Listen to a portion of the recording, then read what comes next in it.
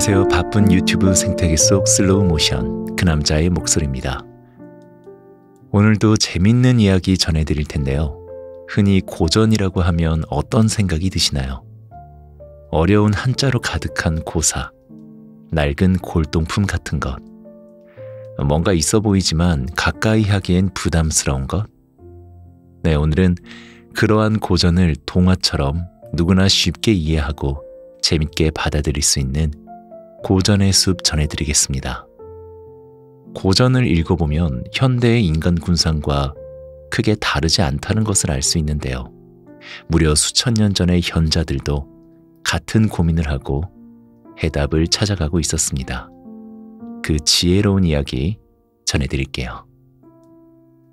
오늘 하루 힘들었던 일, 피곤했던 일, 나를 괴롭게 만들었던 일, 잠시 내려두시고 그럼에도 불구하고 오늘 밤도 잘 자요. 제가 활동하고 있는 코끼리 앱은 수면에 도움을 주고 명상을 할 수 있는 멘탈 케어 앱인데요. 수면 전문가가 제작해서 가장 편하게 수면할 수 있도록 도와주는 앱입니다. 고전의 숲 full version도 감상하실 수 있고요. 다양한 콘텐츠가 있으니 많은 관심 부탁드립니다. 무료 구독권 등록하는 방법은 고정 댓글을 확인해 주세요.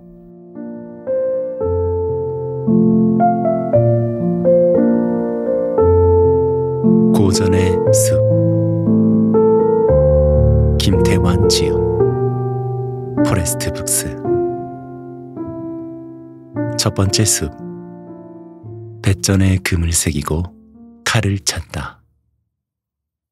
옛날에 초나라의 어떤 사내가 배를 타고 강을 건너다 실수로 허리에 차고 있던 칼을 물에 빠뜨리고 말았습니다.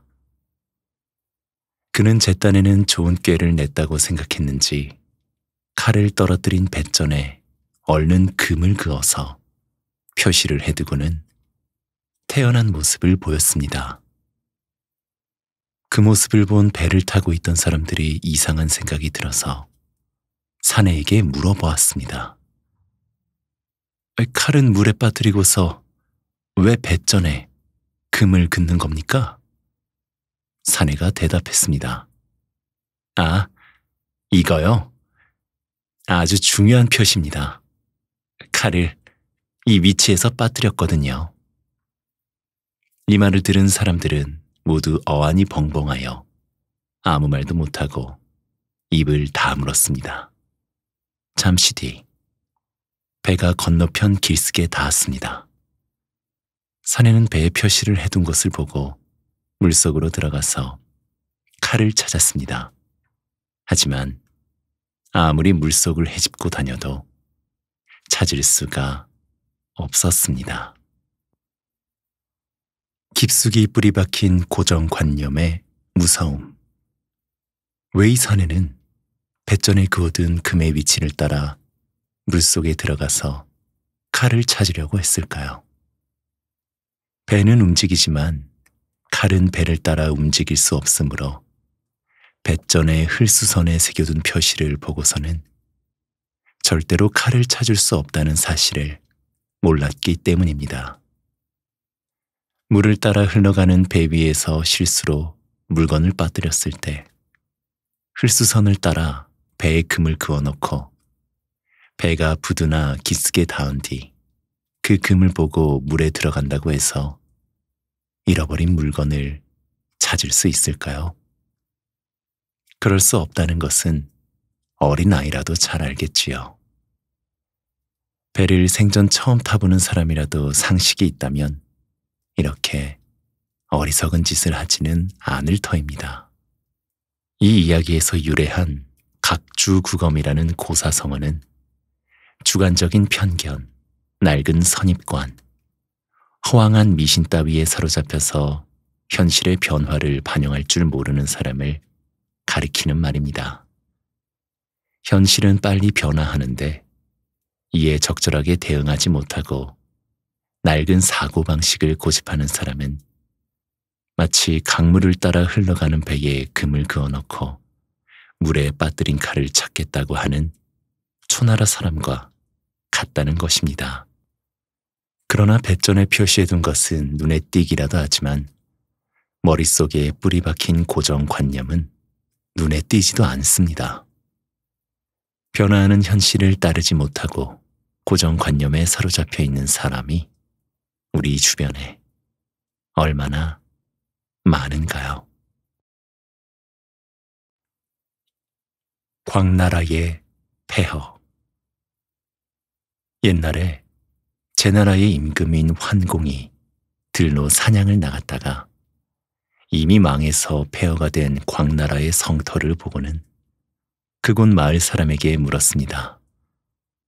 이곳은 웬 폐허인가? 마을 사람이 대답했습니다. 광나라의 폐허입니다. 어, 광나라의 성이 어찌하여 폐허가 되었는가?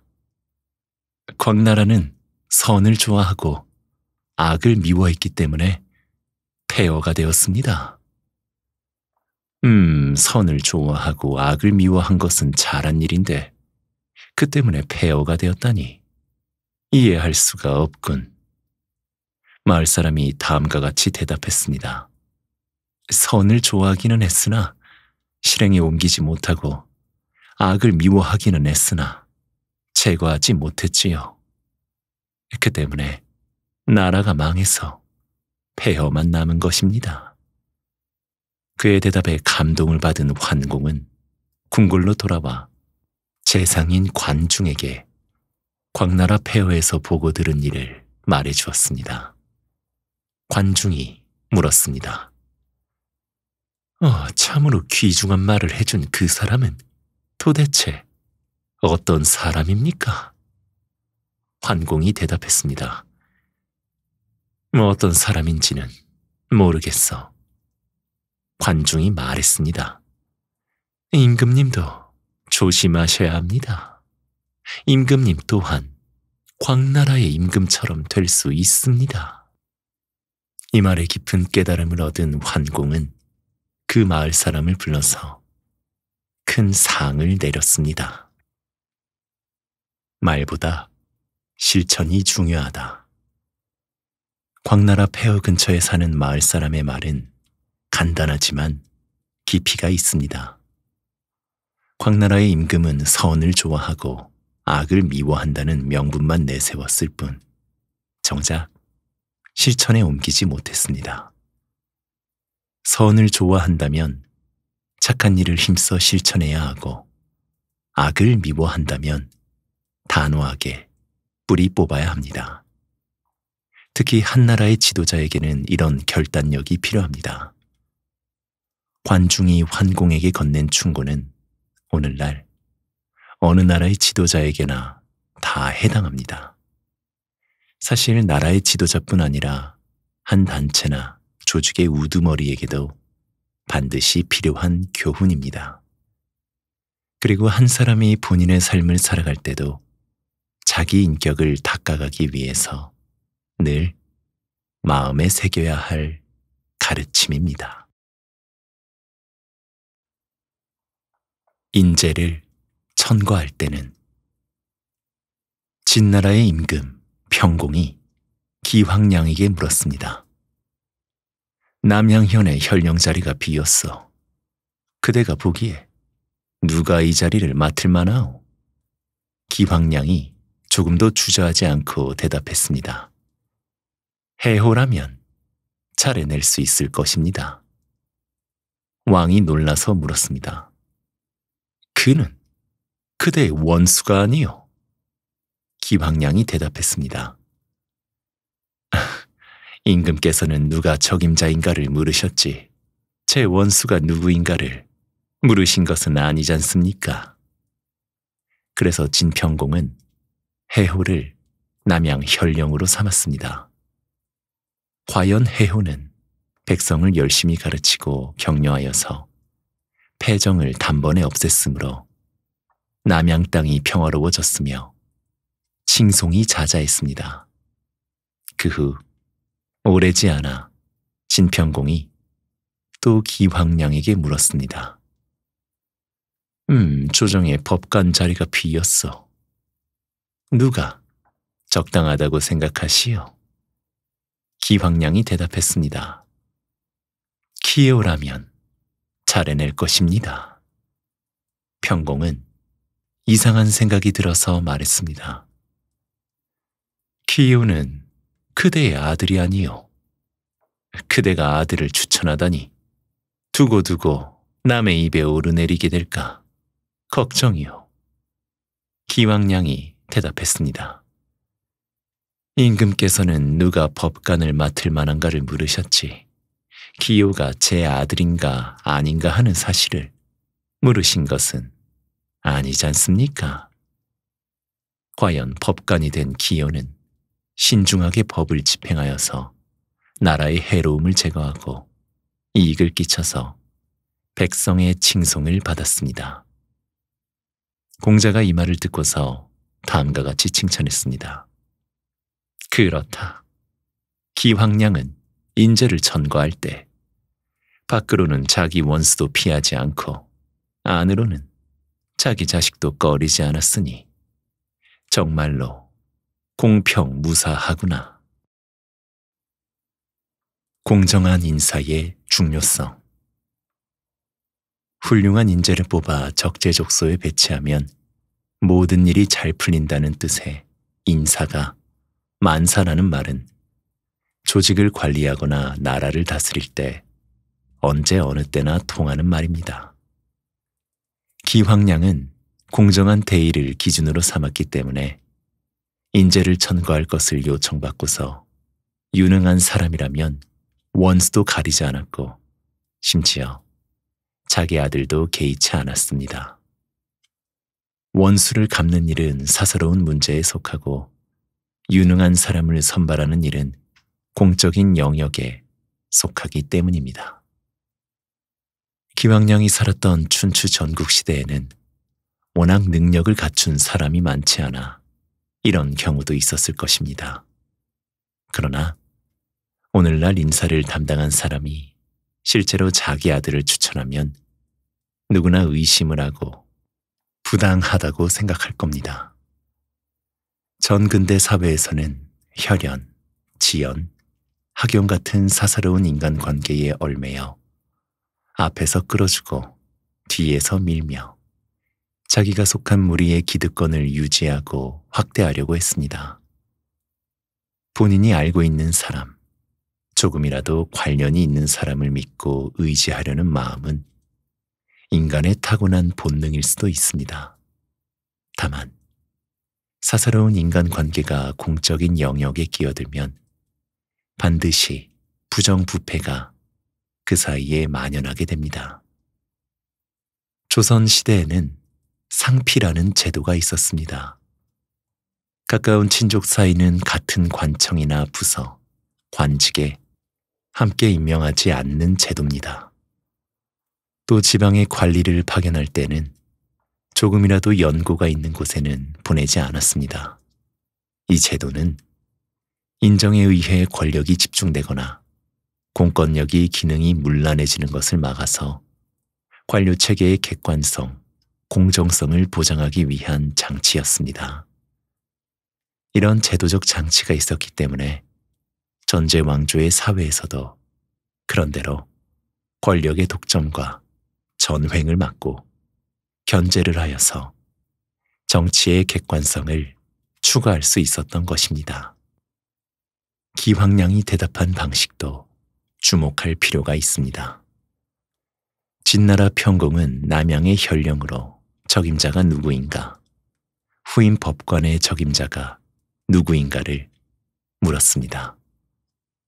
거기에 기황량은 꼭 맞는 사람을 바로 지적하여 대답하였습니다. 이처럼 문답이나 토론을 할 때는 상대방의 말을 정확하게 알아듣고 거기에 꼭 맞는 답을 해야 합니다.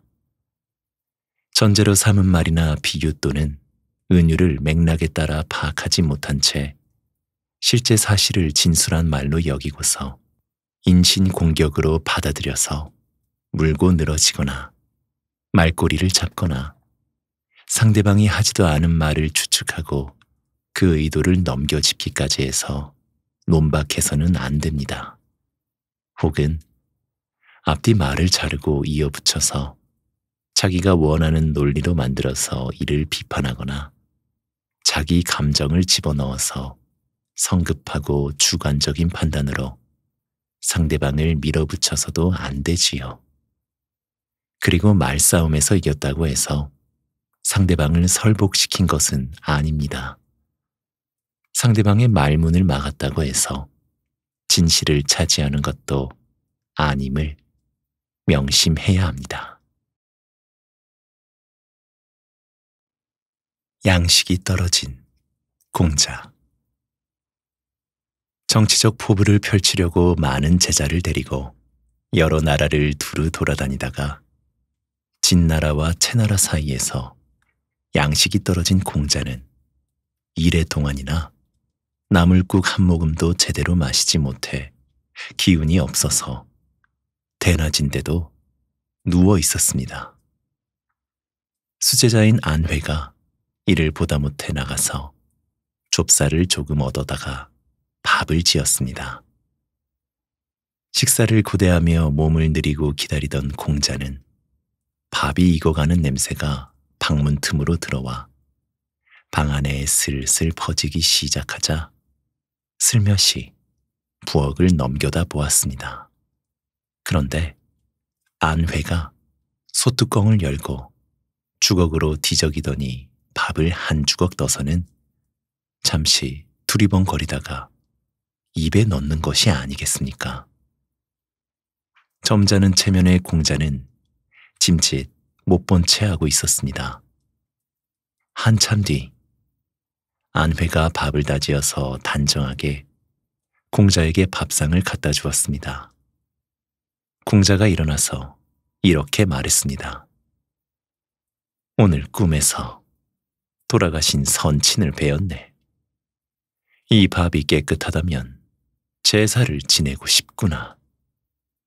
안회가 말했습니다. 아, 안 됩니다. 조금 전에 밥이 다 되었나 하고 소뚜껑을 열었더니 천장에서 제가 솥 안으로 떨어져서 밥 위에 묻었습니다.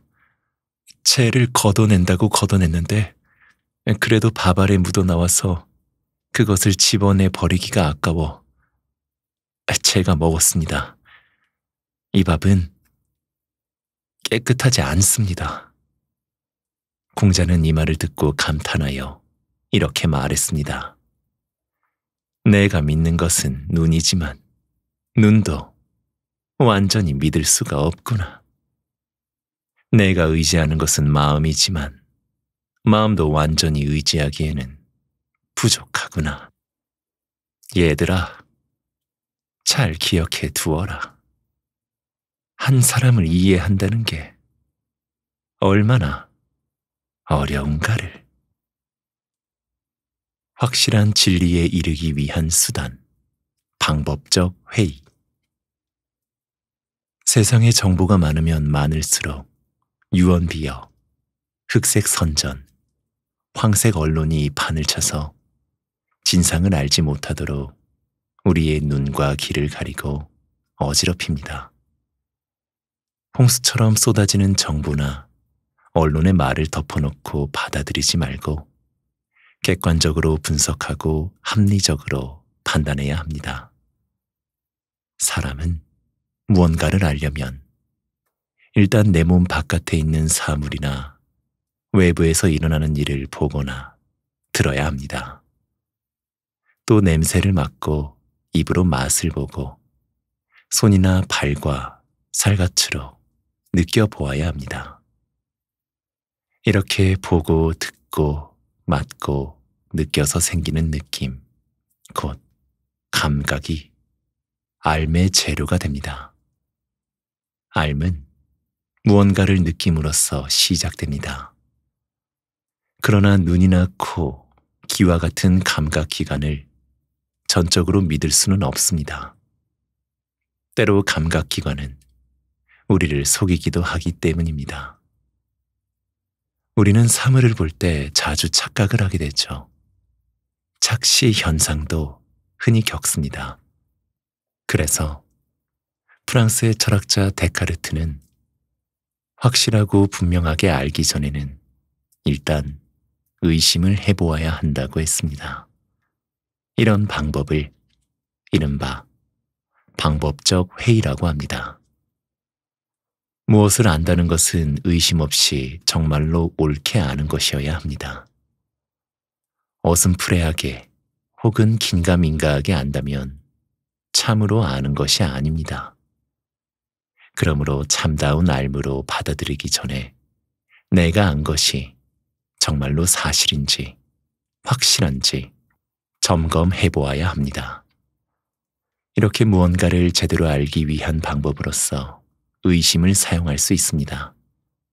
무조건 의심하는 것이 아니라 절대적으로 분명하고 확실한 출발점을 찾기 위해 털끝만큼이라도 의심스러운 것은 모두 의심해 보는 것이지요. 그래서 데카르트는 마침내 의심하고 있는 내가 존재한다는 사실은 의심할 수 없음을 깨닫고 나의 생각하는 능력인 이성을 알의 출발점으로 삼았습니다. 그 뒤 독일의 철학자 칸트는 인식을 능력과 재료로 나누어서 생각했습니다. 칸트는 인식을 오성이 감각기관으로 들어오는 재료를 짜맞추어서 이루어지는 과정이라고 보았습니다. 감각기관으로 들어오는 재료가 없으면 인식이 이루어지지 않습니다. 감각기관은 감각 대상을 직관적으로 받아들이기만 할 뿐, 그것을 무엇이라고 판단하지는 못합니다. 그리고 오성은 감각된 대상을 짜맞출 수는 있어도 느낌을 만들어내지는 못합니다. 두 가지가 서로 결합해야만 인식이 이루어집니다. 그래서 칸트는 직관 없는 개념은 공허하고 개념 없는 직관은 맹목적이다라고 했습니다. 감각기관으로 들어온 감각 재료 없이 오성의 구성 능력만 있어서는 알 수 없고 반대로 오성의 구성 없이 감각 재료만 있어서는 알 수 없습니다. 알매 재료와 알매 능력이 함께 작용해야 한다는 말입니다.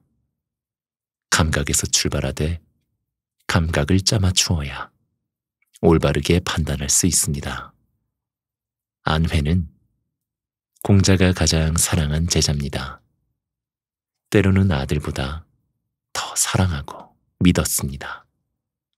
안회도 공자를 아버지처럼 믿고 따랐습니다. 이처럼 안회를 아들처럼 사랑했던 공자가 삶과 죽음이 왔다 갔다 하는 형편에 처하자 평소의 철석 같은 믿음도 온데간데 없이 사라지고 그의 행동만 보고서 덜컥 의심하고야 말았습니다. 사실 공자가 있는 자리에서 본다면 안회의 행동은 몰래 밥을 훔쳐먹는 것으로 비칠 수도 있습니다. 그렇지만 평소 안회의 심성을 잘 알고 있었던 공자라면 한 번쯤 자기 판단을 의심해 볼 수도 있었을 터입니다. 늘 자신을 아버지처럼 존경하고 따르던 제자가 평상시와 다른 행동을 했다면 반드시 무슨 까닭이 있었으리라 하고 말입니다. 또 솔직하게 안회의 행동을 나무라지 않고 의문스럽게 제사 핑계를 대다니 천하의 성인 공자가 어쩜 이리 치사한 모습을 보일까요? 물론 이 일은 실제 일어난 일인지 아닌지 정확히 알 수는 없습니다. 그러나 실제 일어난 일이라고 가정한다면 공자도 역시 한 사람의 나약한 인간이라는 진솔한 모습을 엿볼 수 있고 꾸며낸 일이라고 한다면 또 그만큼 교훈을 담은 이야기라 할 수 있겠습니다. 무슨 일이든 간에 내 눈으로 봤다고 해서 무턱대고 속단하지 말고 앞뒤 사정을 살피고 맥락을 따져봐야 합니다. 사당의 쥐 제나라의 임금인 경공이 재상인 안영에게 물었습니다. 나라를 다스리는데 가장 큰 근심거리가 무엇이요? 안영이 대답했습니다. 바로 사당의 큰 쥐입니다. 경공이 그 뜻을 이해하지 못해서 다시 물었습니다. 그 말이 무슨 뜻이요? 안영이 대답했습니다. 사당은 신에게 제사를 지내는 곳입니다. 사당을 지을 때는 나무로 기둥을 세우고 진흙을 발라 벽을 만듭니다. 그런데 쥐는 사당의 벽에 여기저기 구멍을 뚫고 그 안에서 삽니다. 연기를 피워서 쫓아내자니 기둥이 탈까 두렵고 물을 부어서 쫓아내자니 벽이 무너질까 두려워서 이러지도 못하고 저러지도 못합니다. 나라도 사정이 마찬가지입니다. 나라에도 사당의 쥐와 같은 사람들이 있습니다. 바로 임금님이 좌우에 두고 아끼는 사람들이 그들입니다. 권력의 주위를 떠나지 않는 교활한 자들. 빈대 잡으려다 초가 삼간 다 태운다라는 속담이 있지요. 쥐를 때려잡으려 해도 접시가 아깝다 하는 말처럼 작은 해를 없애려다가 도리어 큰 손해를 보는 수가 있습니다. 그래서 대부분이 웬만한 피해는 덮어두고 넘어가려고 합니다. 그러나 작은 해라도 그대로 두면 점점 자라서 나중에는 걷잡을 수 없이 큰 해악을 끼치게 됩니다. 쥐는 사당 안에서 활개치고 다니며 벽을 뚫고 기둥을 쏠고 사당에 바친 재물을 훔쳐 먹어서 막대한 피해를 끼칩니다. 나라에도 마찬가지로 권력자 주위에서 마치 쥐처럼 교활하게 자기 이익만 챙기는 자들이 있습니다. 나라가 어지러울수록 서로 도와서 어려움을 해결할 생각은 하지 않고 이익을 챙길 수 있을 때 하나라도 더 챙겨야겠다는 사람은 마치 쥐새끼와 같습니다. 조선이 망하기 직전 나라에서는 군인의 봉급도 제대로 주지 못했는데 부패한 관리의 곳간에는 쌀이 썩어나고 돈에 녹이 쓸 정도였다고 합니다. 권력을 행사하는 기구가 투명하지 않고 은폐되어 있을수록 쥐새끼 같은 사람은 더 많아집니다. 권력자가 이런 사람을 잘 가려내지 못하는 것이 큰 문제인 것입니다. 이 우화는 안자춘추라는 책에 나오는 이야기인데 한비자에도 똑같은 내용이 전해집니다. 한비자는 이 우화를 소개한 다음 이렇게 풀이했습니다.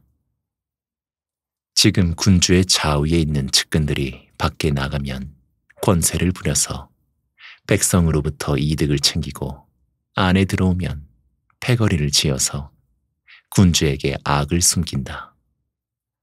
안으로는 군주의 정황을 엿보아 그것을 밖에 알리고 안팎으로 여러 신하들과 벼슬아치들에게 권세를 부려서 부를 이룬다. 관리들은 이들을 처벌하지 않으면 법이 문란해지고 처벌하자니 군주가 불안해할까 하여 그대로 덮어둔다. 이런 자들이 나라에는 사당의 쥐와 같다. 가짜 봉황 초나라의 어느 산속에 꽝을 기르는 사람이 있었습니다. 하루는 길을 가던 나그네가 난생 처음 깃털이 아름다운 꽝을 보고는 아주 신기하게 여겨서 그게 무엇인가 물었습니다. 꽝을 기르는 사람은 꽝을 처음 보는 사람도 있는가 하여 일부러 거짓말을 했습니다. 당신이 이 새의 이름을 모르는 것도 이상할 게 없지요. 이 새는 바로 봉황입니다. 나그네는 그 말을 듣고 깜짝 놀랐습니다. 세상에 이 새가 바로 봉황이란 말이지요. 봉황이라는 이름만 들었는데, 어, 그런 새가 정말 있기는 있었군요. 아, 이 귀한 새를 저에게 파십시오. 그는 서슴없이 돈을 한 꿰미 꺼내주면서 사겠다고 했습니다. 꽝을 기르는 사람이 짐짓 거절하는 체하자 그는 곧바로 값을 두 배로 쳐서 돈을 한 겜이 더 주고 사갔습니다. 나그네는 이 봉황을 임금에게 바쳐서 후한 상을 타려고 했는데 애석하게도 꽝이 죽고 말았습니다. 나그네는 돈을 버린 일보다 임금에게 봉황을 바치지 못하게 된 일을 더 안타까워했습니다. 그는 머리를 쥐어뜯으며 아주 슬프게 통곡했습니다. 이 소문이 초나라에 아주 빠르게 퍼졌습니다. 거리와 골목을 돌아다니는 동안 점점 살이 붙어서 사람들이 꿩을 진짜 봉황으로 여길 정도였고 이 소문을 접하는 사람마다 쯧쯧 혀를 차면서 애석해 했습니다. 이 사실을 난 임금은 아주 유감스러워 했습니다. 임금은 봉황을 바치려 했던 나그네의 충성을 높이 사서 특별히 접견하고 꿩값의 10배나 되는 상금을 내렸습니다. 이름이 실제를 만들어내다. 한갓 이름뿐이라 하더라도 어떤 특정한 조건 아래에서는 실제처럼 여겨지는 수가 있습니다. 꽝은 꽝일 뿐 봉황이 아닙니다. 그러나 온 나라 사람들이 봉황으로 알았기 때문에 꽝은 봉황이 되었습니다. 나그네는 임금에게 봉황을 바치려고 한 것이고 임금도 봉황을 바치려는 정성으로 받아들여서 봉황을 바친 것에 해당하는 상을 내렸습니다. 그러니 꽝은 꽝이 아니라 봉황이지 무엇란 말인가요? 이 경우는 이름이 실제를 만들어낸 셈입니다. 그러나 이는 이름이 만들어낸 허상입니다. 사람들이 모두 허상에 속은 것이죠. 성경에 이런 이야기가 있습니다. 맨 처음 하느님이 천지와 만물을 창조하였고, 그러고 나서 진흙을 빚어서 사람을 만들었습니다. 그가 아담입니다. 하느님이 만물을 이끌어 아담에게 보였습니다. 아담이 손가락으로 하나하나 가리키면서 무어라고 말하였습니다. 그 말이 그대로 그 사물의 이름이 되었습니다. 아주 아득한 옛날, 사람들이 짐승과 어울려 살던 때 사람들은 눈으로 보는 사물 하나하나에 무어라고 이름을 붙였었지요. 그러다 그 이름이 두루 쓰이게 되면 그로부터는 이름만 남고 사물 하나하나는 이름 속에 숨어버립니다. 사람들은 직접 눈으로 보지 않고 이름만 주고받으면서 사물을 가리키고 사물을 떠올리며 사물과 관계를 맺습니다. 이름을 아무리 쪼개보아도 그 사물이 보이지 않고 사물을 아무리 쪼개보아도 이름은 없습니다. 이름은 다만 우리가 그 사물을 가리키고 성질을 나타내기 위해 덧붙인 생각이 만들어낸 것입니다. 어떤 사물에 붙은 이름은 그 사물이 없어져도 남습니다. 그래서 위의 이야기와 같이 이름만으로도 이미지를 만들어낼 수 있는 것입니다. 증자의 자녀 교육법 공자의 제자인 증자의 아내가 시장에 가려고 준비를 하고 있었습니다. 아이가 따라가려고 치맛자락에 매달려 울며 부챘습니다. 시달리다 못한 증자의 아내는 아이를 달랬습니다. 얘야, 얼른 돌아가거라. 엄마가 돌아와서 돼지를 잡아 고기를 먹게 해줄게. 그제야 아이는 겨우 울음을 그치고 돌아섰습니다. 아내가 시장에서 돌아오니 증자가 돼지를 묶어놓고 날이 시퍼렇게 선 칼을 들고 막 돼지를 잡으려 하고 있었습니다. 아내는 놀라서 급히 뛰어들어 그의 팔을 잡으며 말했습니다. 당신 미쳤어요? 돼지는 왜 잡는 거예요? 당신이 아이에게 시장에서 돌아와서 돼지를 잡아준다고 하지 않았어. 아니, 일부러 아이를 조금 속인 걸 가지고 참말로 돼지를 잡으면 어떡해요? 증자는 엄숙하게 말했습니다. 어떻게 아이를 속일 수 있단 말이요? 아이들이란 아무것도 모르기 때문에 부모를 보고 따라 배우게 돼요. 지금 당신이 아이를 속이는 것은 아이에게 남을 속이도록 가르치는 것이라오. 어머니가 자기 아이를 속이면 아이는 어머니를 믿지 못할 것이요. 그러면 무슨 가정교육이 되겠어? 말을 마친 증자는 돼지의 멱을 따기 시작했습니다. 말로만 하는 것이 아닌 몸소 실천하는 교육. 자녀는 어버이의 말을 따라 배우는 것이 아니라 어버이의 뒷모습을 보고 배운다는 말이 있습니다. 아이는 말로만 이렇게 하라, 저렇게 하라 한다고 그대로 하는 것이 아니라 어버이가 하는 행동을 보고 따라 한다는 뜻입니다. 아내가 눈앞에 성가신 일을 넘어가려고 아이에게 돼지를 잡아주겠다고 무심코 내뱉은 무책임한 말을 지키기 위해 정말로 돼지를 잡은 증자의 교훈은 백마디 말보다 값집니다. 모름지기 교육이란 이렇게 해야 하지 않을까요?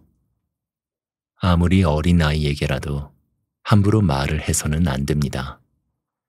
쉽게 말을 내뱉어서도 안 되고 말을 한 이상은 책임을 져야 합니다. 교육에 종사하는 사람들은 증자의 교육법에서 올바른 교육이란 무엇인지를 배워야 합니다. 몸으로 보여주는 교육이 말로 하는 교육보다 중요하다는 사실을 이 살체 교자의 우화가 마치 웅변하듯이 아주 잘 가르쳐 줍니다. 세 사람만 우기면 없는 호랑이도 만들어낸다. 위나라가 조나라와의 전쟁에서 패배하여 태자와 대신 방공을 조나라의 수도 한단에 인질로 보내게 되었습니다. 방공은 떠나야 할 때가 되자 왕에게 한 가지 질문을 했습니다.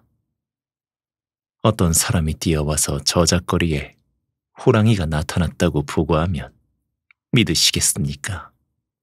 왕이 고개를 흔들며 말했다. 믿지 못하겠어. 저작거리에 어떻게 호랑이가 나타난단 말이요? 두 번째 사람이 달려와서 저작거리에 호랑이가 나타났다고 한다면 믿으시겠습니까? 왕은 망설임 끝에 여전히 고개를 흔들며 못 믿겠다고 말했습니다. 방공이 다시 물었습니다. 곧이어 세 번째 사람이 달려와서 저작거리에 호랑이가 있다고 한다면 믿으시겠습니까? 왕은 고개를 끄덕이며 말했습니다. 믿어야 지요. 세 사람이나 그렇게 말한다면 꺼지실 리가 있겠어. 방공이 일어나 말했습니다. 저작거리에 호랑이가 있을 수 없다는 것은 누구나 알고 있습니다. 그러나 세 사람이 있다고 하면 임금님께서도 믿으실 것입니다. 위나라에서 한다는 여기서 저작거리까지 멉니다. 임금님 앞에서 저를 헐뜯을 사람이 어찌 세 사람뿐이겠습니까? 나중에 저를 헐뜯는 사람이 있거든 시비를 분명히 판단하시기 바랍니다. 과연 방공이 짐작한 대로 그가 떠나자 왕 앞에 많은 사람이 와서 근거 없는 소문을 퍼뜨렸습니다. 결국 방공이 한단에서 돌아온 뒤에도 왕은 그를 다시 부르지 않았습니다. 끈질긴 중상 모략은 멈출 줄을 모르기에 나쁜 마음을 먹고 남을 모함하며 헐뜯는 사람들은 끈질기게 중상 모략을 일삼고 헛소문을 날조해냅니다. 처음에는 그럴 리가 없다고 무시해도 비슷한 말을 끊임없이 지어내어 모함을 하면 가랑비에 옷 젖는 격으로 차츰 귀가 솔깃해지고 그 말을 그럴듯하게 여기다가 끝내 사실로 받아들이게 됩니다. 세 사람만 말해도 가볍게 믿어버리는데 더 많은 사람이 말한다면 사실을 확인하지도 않고 바로 믿게 될 것입니다. 객관적인 여러 가지 사례를 들어서 대조하고 따져보지 않고 남의 말만 들으면 절대 진실을 알 수 없습니다.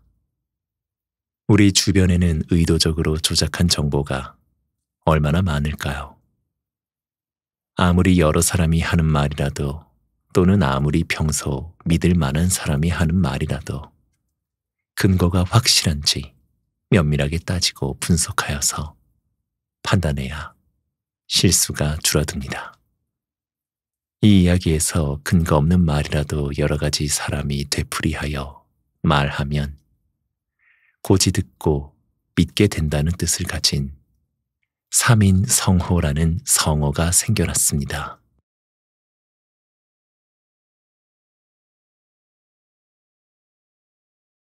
고전의 숲 김태환 지음. 포레스트 북스. 첫 번째 숲 배전에 금을 새기고 칼을 찾다.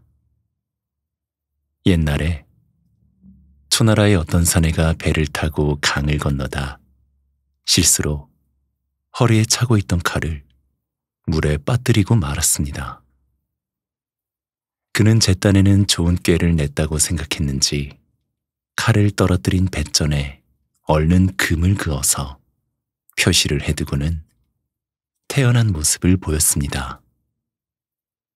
그 모습을 본 배를 타고 있던 사람들이 이상한 생각이 들어서 사내에게 물어보았습니다. 칼은 물에 빠뜨리고서 왜 배전에 금을 긋는 겁니까? 사내가 대답했습니다. 아, 이거요? 아주 중요한 표시입니다. 칼을 이 위치에서 빠뜨렸거든요. 이 말을 들은 사람들은 모두 어안이 벙벙하여 아무 말도 못하고 입을 다물었습니다. 잠시 뒤 배가 건너편 길쓰게 닿았습니다. 사내는 배에 표시를 해둔 것을 보고 물속으로 들어가서 칼을 찾았습니다. 하지만 아무리 물속을 헤집고 다녀도 찾을 수가 없었습니다. 깊숙이 뿌리 박힌 고정관념의 무서움. 왜이 사내는 배전에 그어둔 금의 위치를 따라 물속에 들어가서 칼을 찾으려고 했을까요? 배는 움직이지만 칼은 배를 따라 움직일 수 없으므로 배전에 흘수선에 새겨둔 표시를 보고서는 절대로 칼을 찾을 수 없다는 사실을 몰랐기 때문입니다. 물을 따라 흘러가는 배 위에서 실수로 물건을 빠뜨렸을 때 흘수선을 따라 배에 금을 그어놓고 배가 부두나 기슭에 닿은 뒤 그 금을 보고 물에 들어간다고 해서 잃어버린 물건을 찾을 수 있을까요? 그럴 수 없다는 것은 어린 아이라도 잘 알겠지요. 배를 생전 처음 타보는 사람이라도 상식이 있다면 이렇게 어리석은 짓을 하지는 않을 터입니다.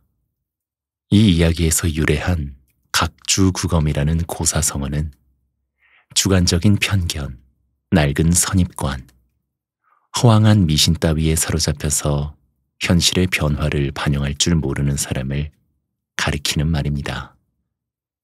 현실은 빨리 변화하는데 이에 적절하게 대응하지 못하고 낡은 사고방식을 고집하는 사람은 마치 강물을 따라 흘러가는 배에 금을 그어놓고 물에 빠뜨린 칼을 찾겠다고 하는 초나라 사람과 같다는 것입니다. 그러나 배전에 표시해둔 것은 눈에 띄기라도 하지만 머릿속에 뿌리 박힌 고정관념은 눈에 띄지도 않습니다. 변화하는 현실을 따르지 못하고 고정관념에 사로잡혀 있는 사람이 우리 주변에 얼마나 많은가요? 광나라의 폐허 옛날에 제 나라의 임금인 환공이 들로 사냥을 나갔다가 이미 망해서 폐허가 된 광나라의 성터를 보고는 그곳 마을 사람에게 물었습니다. 이곳은 웬 폐허인가? 마을 사람이 대답했습니다.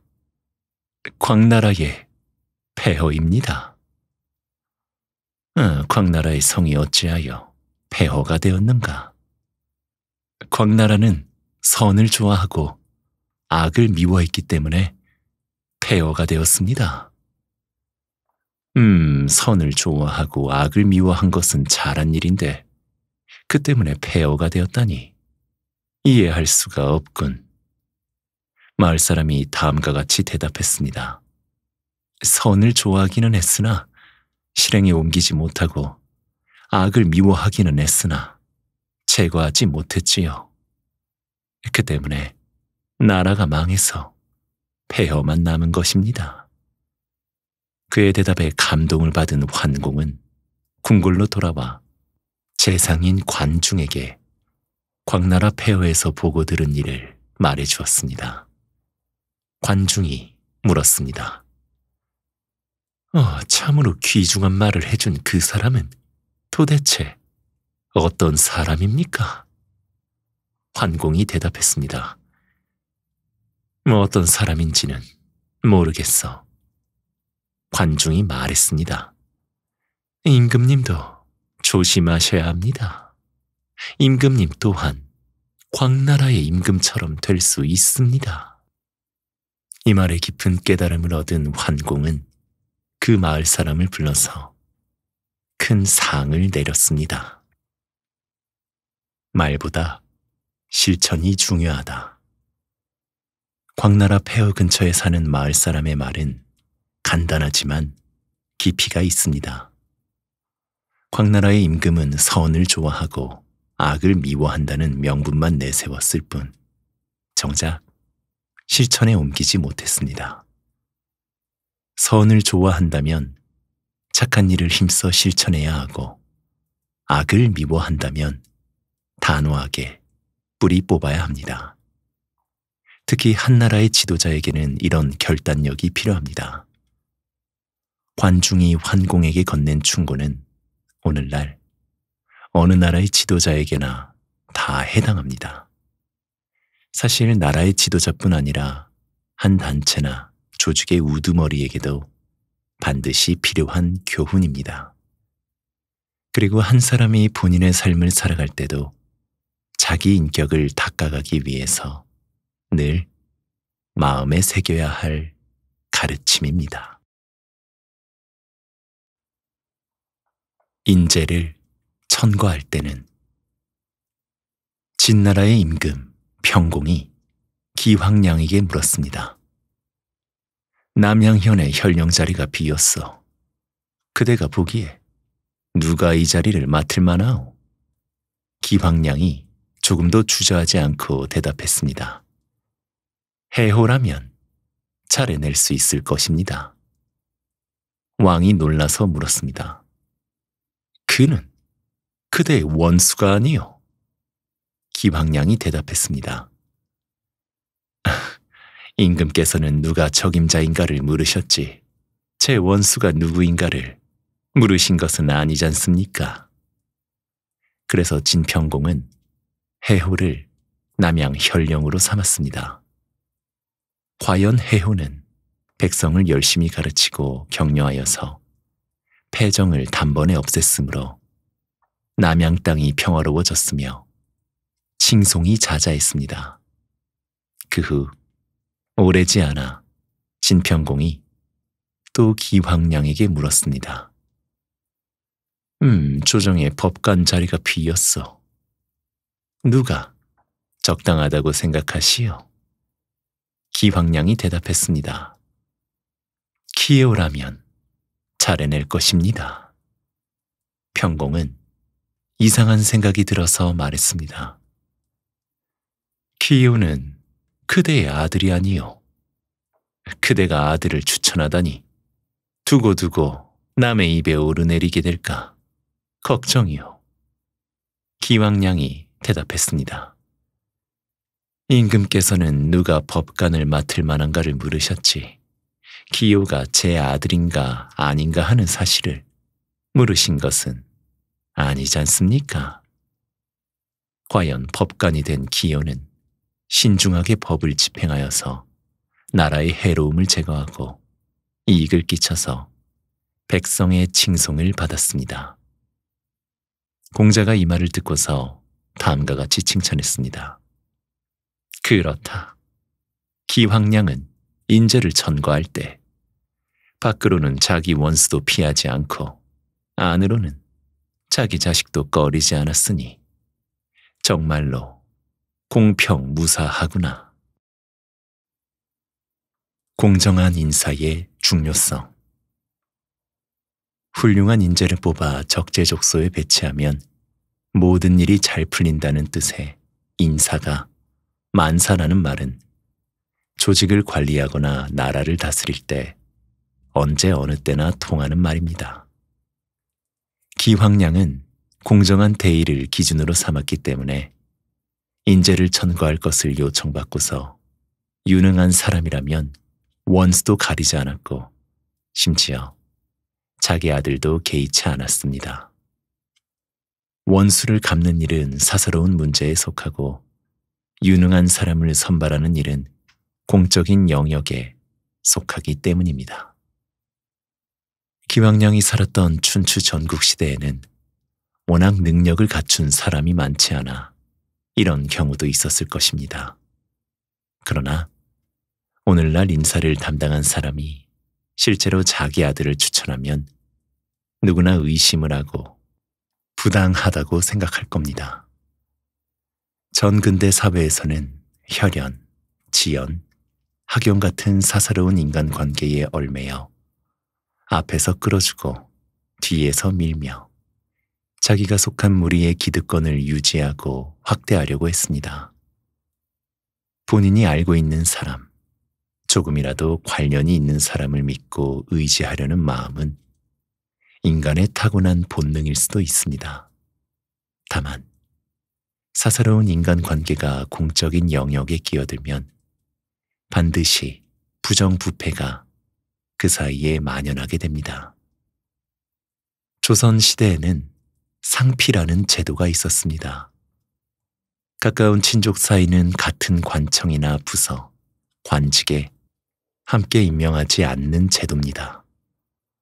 또 지방의 관리를 파견할 때는 조금이라도 연고가 있는 곳에는 보내지 않았습니다. 이 제도는 인정에 의해 권력이 집중되거나 공권력이 기능이 문란해지는 것을 막아서 관료 체계의 객관성, 공정성을 보장하기 위한 장치였습니다. 이런 제도적 장치가 있었기 때문에 전제 왕조의 사회에서도 그런대로 권력의 독점과 전횡을 막고 견제를 하여서 정치의 객관성을 추가할 수 있었던 것입니다. 기황량이 대답한 방식도 주목할 필요가 있습니다. 진나라 평공은 남양의 혈령으로 적임자가 누구인가, 후임 법관의 적임자가 누구인가를 물었습니다. 거기에 기황량은 꼭 맞는 사람을 바로 지적하여 대답하였습니다. 이처럼 문답이나 토론을 할 때는 상대방의 말을 정확하게 알아듣고 거기에 꼭 맞는 답을 해야 합니다. 전제로 삼은 말이나 비유 또는 은유를 맥락에 따라 파악하지 못한 채 실제 사실을 진술한 말로 여기고서 인신 공격으로 받아들여서 물고 늘어지거나 말꼬리를 잡거나 상대방이 하지도 않은 말을 추측하고 그 의도를 넘겨짚기까지 해서 논박해서는 안 됩니다. 혹은 앞뒤 말을 자르고 이어붙여서 자기가 원하는 논리로 만들어서 이를 비판하거나 자기 감정을 집어넣어서 성급하고 주관적인 판단으로 상대방을 밀어붙여서도 안 되지요. 그리고 말싸움에서 이겼다고 해서 상대방을 설복시킨 것은 아닙니다. 상대방의 말문을 막았다고 해서 진실을 차지하는 것도 아님을 명심해야 합니다. 양식이 떨어진 공자 정치적 포부를 펼치려고 많은 제자를 데리고 여러 나라를 두루 돌아다니다가 진나라와 채나라 사이에서 양식이 떨어진 공자는 일의 동안이나 나물국 한 모금도 제대로 마시지 못해 기운이 없어서 대낮인데도 누워 있었습니다. 수제자인 안회가 이를 보다 못해 나가서 좁쌀을 조금 얻어다가 밥을 지었습니다. 식사를 고대하며 몸을 느리고 기다리던 공자는 밥이 익어가는 냄새가 방문 틈으로 들어와 방 안에 슬슬 퍼지기 시작하자 슬며시 부엌을 넘겨다 보았습니다. 그런데 안회가 소뚜껑을 열고 주걱으로 뒤적이더니 밥을 한 주걱 떠서는 잠시 두리번거리다가 입에 넣는 것이 아니겠습니까? 점잖은 체면의 공자는 짐짓 못 본 채 하고 있었습니다. 한참 뒤 안회가 밥을 다지어서 단정하게 공자에게 밥상을 갖다 주었습니다. 공자가 일어나서 이렇게 말했습니다. 오늘 꿈에서 돌아가신 선친을 배웠네. 이 밥이 깨끗하다면 제사를 지내고 싶구나. 안회가 말했습니다. 아, 안 됩니다. 조금 전에 밥이 다 되었나 하고 소뚜껑을 열었더니 천장에서 제가 솥 안으로 떨어져서 밥 위에 묻었습니다. 채를 걷어낸다고 걷어냈는데 그래도 밥 아래 묻어 나와서 그것을 집어내 버리기가 아까워 제가 먹었습니다. 이 밥은 깨끗하지 않습니다. 공자는 이 말을 듣고 감탄하여 이렇게 말했습니다. 내가 믿는 것은 눈이지만 눈도 완전히 믿을 수가 없구나. 내가 의지하는 것은 마음이지만 마음도 완전히 의지하기에는 부족하구나. 얘들아, 잘 기억해 두어라. 한 사람을 이해한다는 게 얼마나 어려운가를. 확실한 진리에 이르기 위한 수단, 방법적 회의. 세상에 정보가 많으면 많을수록 유언비어, 흑색 선전, 황색 언론이 판을 쳐서 진상을 알지 못하도록 우리의 눈과 귀를 가리고 어지럽힙니다. 홍수처럼 쏟아지는 정보나 언론의 말을 덮어놓고 받아들이지 말고 객관적으로 분석하고 합리적으로 판단해야 합니다. 사람은 무언가를 알려면 일단 내 몸 바깥에 있는 사물이나 외부에서 일어나는 일을 보거나 들어야 합니다. 또 냄새를 맡고 입으로 맛을 보고 손이나 발과 살갗으로 느껴보아야 합니다. 이렇게 보고 듣고 맞고 느껴서 생기는 느낌, 곧 감각이 알의 재료가 됩니다. 알은 무언가를 느낌으로써 시작됩니다. 그러나 눈이나 코, 귀와 같은 감각 기관을 전적으로 믿을 수는 없습니다. 때로 감각 기관은 우리를 속이기도 하기 때문입니다. 우리는 사물을 볼 때 자주 착각을 하게 되죠. 착시 현상도 흔히 겪습니다. 그래서 프랑스의 철학자 데카르트는 확실하고 분명하게 알기 전에는 일단 의심을 해보아야 한다고 했습니다. 이런 방법을 이른바 방법적 회의라고 합니다. 무엇을 안다는 것은 의심 없이 정말로 옳게 아는 것이어야 합니다. 어슴푸레하게 혹은 긴가민가하게 안다면 참으로 아는 것이 아닙니다. 그러므로 참다운 알무로 받아들이기 전에 내가 안 것이 정말로 사실인지 확실한지 점검해 보아야 합니다. 이렇게 무언가를 제대로 알기 위한 방법으로서 의심을 사용할 수 있습니다. 무조건 의심하는 것이 아니라 절대적으로 분명하고 확실한 출발점을 찾기 위해 털끝만큼이라도 의심스러운 것은 모두 의심해 보는 것이지요. 그래서 데카르트는 마침내 의심하고 있는 내가 존재한다는 사실은 의심할 수 없음을 깨닫고 나의 생각하는 능력인 이성을 삶의 출발점으로 삼았습니다.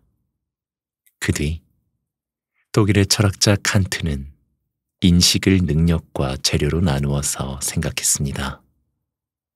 칸트는 인식을 오성이 감각기관으로 들어오는 재료를 짜맞추어서 이루어지는 과정이라고 보았습니다. 감각기관으로 들어오는 재료가 없으면 인식이 이루어지지 않습니다.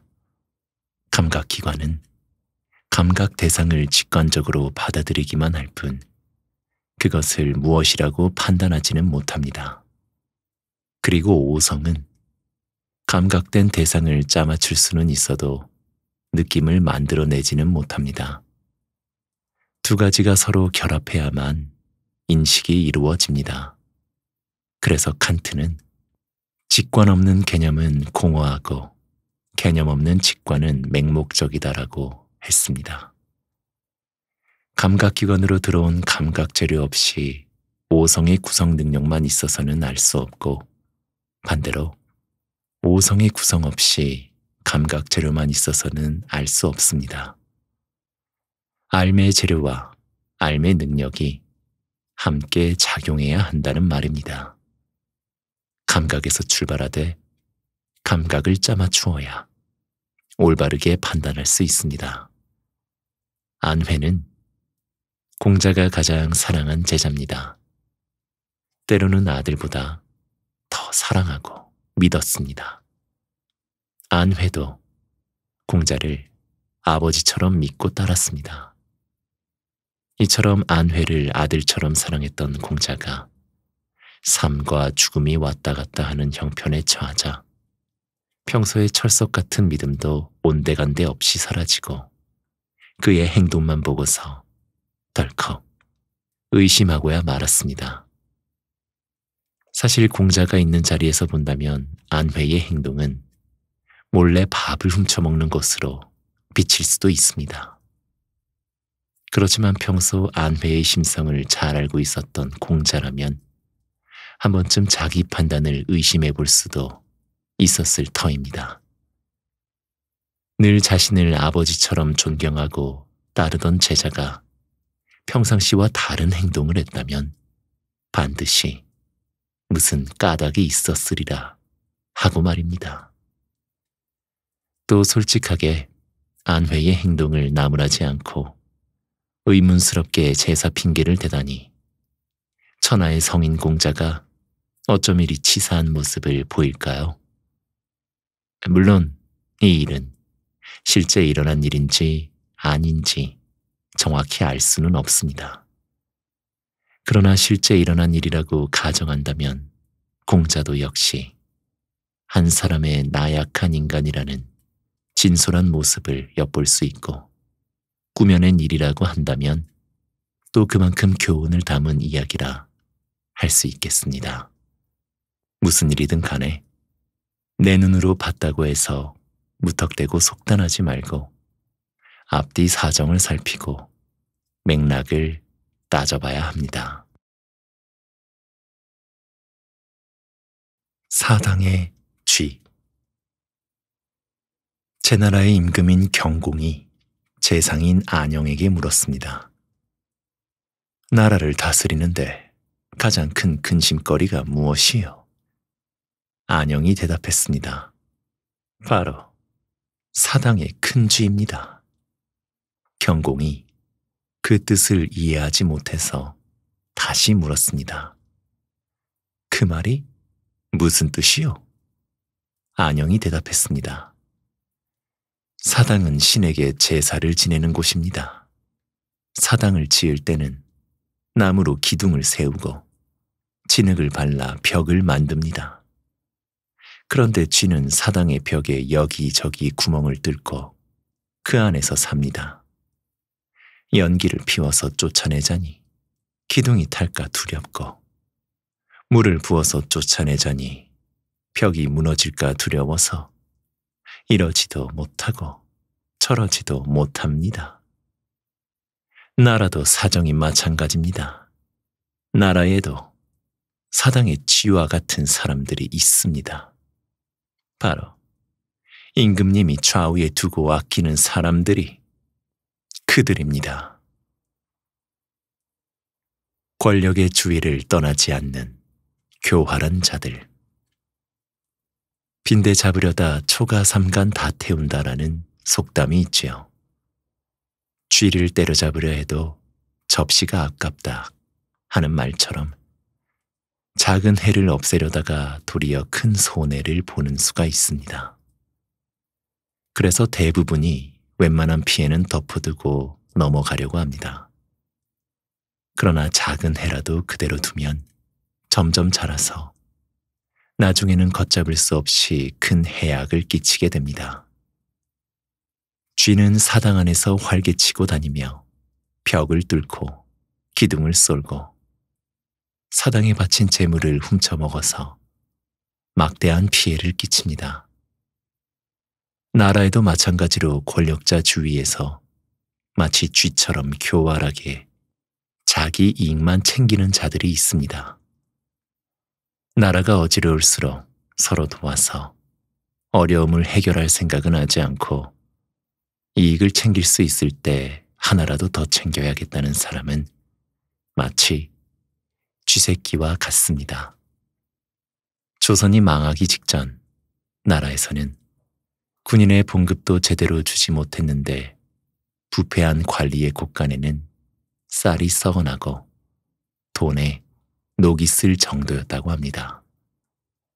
권력을 행사하는 기구가 투명하지 않고 은폐되어 있을수록 쥐새끼 같은 사람은 더 많아집니다. 권력자가 이런 사람을 잘 가려내지 못하는 것이 큰 문제인 것입니다. 이 우화는 안자춘추라는 책에 나오는 이야기인데 한비자에도 똑같은 내용이 전해집니다. 한비자는 이 우화를 소개한 다음 이렇게 풀이했습니다. 지금 군주의 좌우에 있는 측근들이 밖에 나가면 권세를 부려서 백성으로부터 이득을 챙기고 안에 들어오면 패거리를 지어서 군주에게 악을 숨긴다. 안으로는 군주의 정황을 엿보아 그것을 밖에 알리고 안팎으로 여러 신하들과 벼슬아치들에게 권세를 부려서 부를 이룬다. 관리들은 이들을 처벌하지 않으면 법이 문란해지고 처벌하자니 군주가 불안해할까 하여 그대로 덮어둔다. 이런 자들이 나라에는 사당의 쥐와 같다.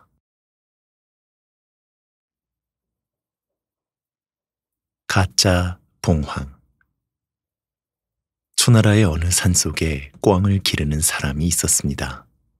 하루는 길을 가던 나그네가 난생 처음 깃털이 아름다운 꽝을 보고는 아주 신기하게 여겨서 그게 무엇인가 물었습니다. 꽝을 기르는 사람은 꽝을 처음 보는 사람도 있는가 하여 일부러 거짓말을 했습니다. 당신이 이 새의 이름을 모르는 것도 이상할 게 없지요. 이 새는 바로 봉황입니다. 나그네는 그 말을 듣고 깜짝 놀랐습니다. 에, 에, 세상에, 이 새가 바로 봉황이란 말이지요. 봉황이라는 이름만 들었는데, 어, 그런 새가 정말 있기는 있었군요. 아, 이 귀한 새를 저에게 파십시오. 그는 서슴없이 돈을 한 꿰미 꺼내주면서 사겠다고 했습니다. 꽝을 기르는 사람이 짐짓 거절하는 체하자 그는 곧바로 값을 두 배로 쳐서 돈을 한 깸이 더 주고 사갔습니다. 나그네는 이 봉황을 임금에게 바쳐서 후한 상을 타려고 했는데 애석하게도 꽝이 죽고 말았습니다. 나그네는 돈을 버린 일보다 임금에게 봉황을 바치지 못하게 된 일을 더 안타까워했습니다. 그는 머리를 쥐어뜯으며 아주 슬프게 통곡했습니다. 이 소문이 초나라에 아주 빠르게 퍼졌습니다. 거리와 골목을 돌아다니는 동안 점점 살이 붙어서 사람들이 꿩을 진짜 봉황으로 여길 정도였고 이 소문을 접하는 사람마다 쯧쯧 혀를 차면서 애석해 했습니다. 이 사실을 안 임금은 아주 유감스러워 했습니다. 임금은 봉황을 바치려 했던 나그네의 충성을 높이 사서 특별히 접견하고 꿩값의 10배나 되는 상금을 내렸습니다. 이름이 실제를 만들어내다. 한갓 이름뿐이라 하더라도 어떤 특정한 조건 아래에서는 실제처럼 여겨지는 수가 있습니다. 꽝은 꽝일 뿐 봉황이 아닙니다. 그러나 온 나라 사람들이 봉황으로 알았기 때문에 꽝은 봉황이 되었습니다. 나그네는 임금에게 봉황을 바치려고 한 것이고 임금도 봉황을 바치려는 정성으로 받아들여서 봉황을 바친 것에 해당하는 상을 내렸습니다. 그러니 꽝은 꽝이 아니라 봉황이지 무엇란 말인가요? 이 경우는 이름이 실제를 만들어낸 셈입니다. 그러나 이는 이름이 만들어낸 허상입니다. 사람들이 모두 허상에 속은 것이죠. 성경에 이런 이야기가 있습니다. 맨 처음 하느님이 천지와 만물을 창조하였고, 그러고 나서 진흙을 빚어서 사람을 만들었습니다. 그가 아담입니다. 하느님이 만물을 이끌어 아담에게 보였습니다. 아담이 손가락으로 하나하나 가리키면서 무어라고 말하였습니다. 그 말이 그대로 그 사물의 이름이 되었습니다. 아주 아득한 옛날, 사람들이 짐승과 어울려 살던 때 사람들은 눈으로 보는 사물 하나하나에 무엇라고 이름을 붙였었지요. 그러다 그 이름이 두루 쓰이게 되면 그로부터는 이름만 남고 사물 하나하나는 이름 속에 숨어버립니다. 사람들은 직접 눈으로 보지 않고 이름만 주고받으면서 사물을 가리키고 사물을 떠올리며 사물과 관계를 맺습니다. 이름을 아무리 쪼개 보아도 그 사물이 보이지 않고 사물을 아무리 쪼개 보아도 이름은 없습니다.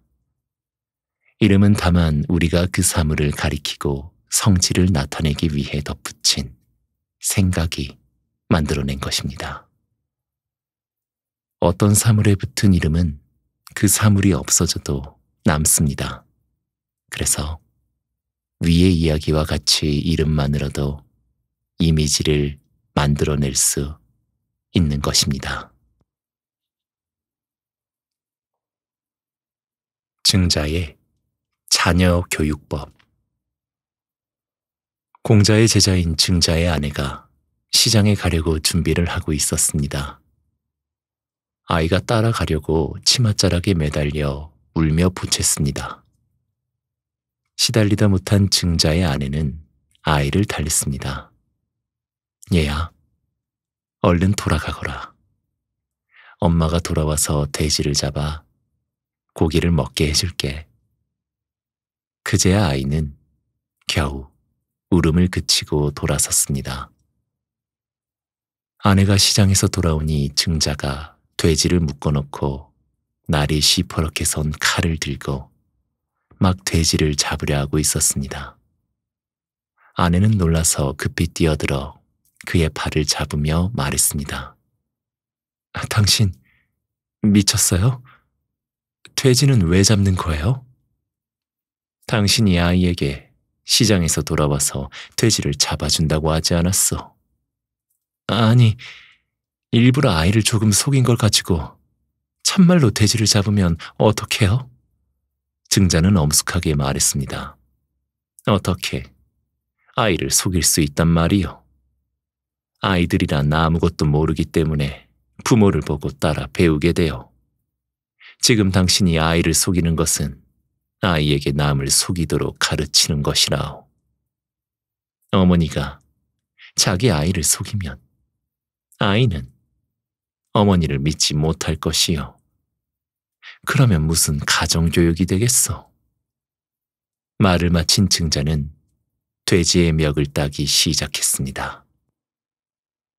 말로만 하는 것이 아닌 몸소 실천하는 교육. 자녀는 어버이의 말을 따라 배우는 것이 아니라 어버이의 뒷모습을 보고 배운다는 말이 있습니다. 아이는 말로만 이렇게 하라, 저렇게 하라 한다고 그대로 하는 것이 아니라 어버이가 하는 행동을 보고 따라 한다는 뜻입니다. 아내가 눈앞에 성가신 일을 넘어가려고 아이에게 돼지를 잡아주겠다고 무심코 내뱉은 무책임한 말을 지키기 위해 정말로 돼지를 잡은 증자의 교훈은 백마디 말보다 값집니다. 모름지기 교육이란 이렇게 해야 하지 않을까요? 아무리 어린 아이에게라도 함부로 말을 해서는 안 됩니다. 쉽게 말을 내뱉어서도 안 되고 말을 한 이상은 책임을 져야 합니다. 교육에 종사하는 사람들은 증자의 교육법에서 올바른 교육이란 무엇인지를 배워야 합니다.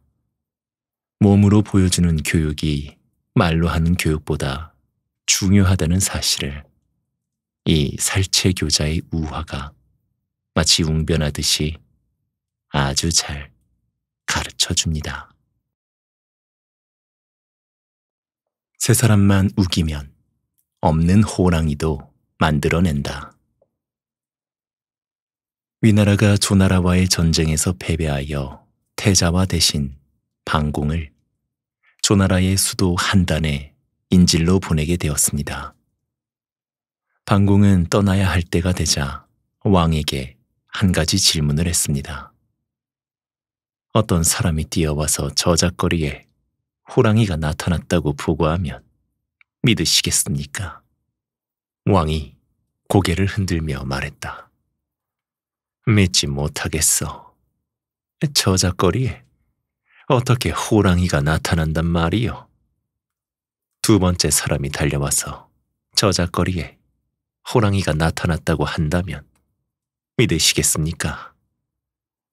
왕은 망설임 끝에 여전히 고개를 흔들며 못 믿겠다고 말했습니다. 방공이 다시 물었습니다. 곧이어 세 번째 사람이 달려와서 저작거리에 호랑이가 있다고 한다면 믿으시겠습니까? 왕은 고개를 끄덕이며 말했습니다. 믿어야 지요. 세 사람이나 그렇게 말한다면 꺼지실 리가 있겠어. 방공이 일어나 말했습니다. 저작거리에 호랑이가 있을 수 없다는 것은 누구나 알고 있습니다. 그러나 세 사람이 있다고 하면 임금님께서도 믿으실 것입니다. 위나라에서 한다는 여기서 저작거리까지 멉니다. 임금님 앞에서 저를 헐뜯을 사람이 어찌 세 사람뿐이겠습니까? 나중에 저를 헐뜯는 사람이 있거든 시비를 분명히 판단하시기 바랍니다. 과연 방공이 짐작한 대로 그가 떠나자 왕 앞에 많은 사람이 와서 근거 없는 소문을 퍼뜨렸습니다.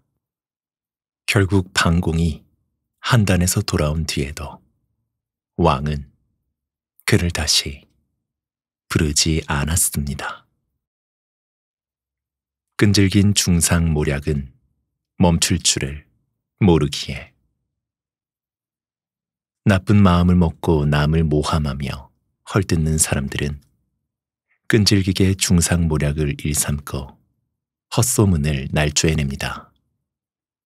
처음에는 그럴 리가 없다고 무시해도 비슷한 말을 끊임없이 지어내어 모함을 하면 가랑비에 옷 젖는 격으로 차츰 귀가 솔깃해지고 그 말을 그럴듯하게 여기다가 끝내 사실로 받아들이게 됩니다. 세 사람만 말해도 가볍게 믿어버리는데 더 많은 사람이 말한다면 사실을 확인하지도 않고 바로 믿게 될 것입니다. 객관적인 여러 가지 사례를 들어서 대조하고 따져보지 않고 남의 말만 들으면 절대 진실을 알 수 없습니다. 우리 주변에는 의도적으로 조작한 정보가 얼마나 많을까요? 아무리 여러 사람이 하는 말이라도 또는 아무리 평소 믿을 만한 사람이 하는 말이라도 근거가 확실한지 면밀하게 따지고 분석하여서 판단해야 실수가 줄어듭니다. 이 이야기에서 근거 없는 말이라도 여러 가지 사람이 되풀이하여 말하면 고지 듣고 믿게 된다는 뜻을 가진 삼인 성호라는 성어가 생겨났습니다.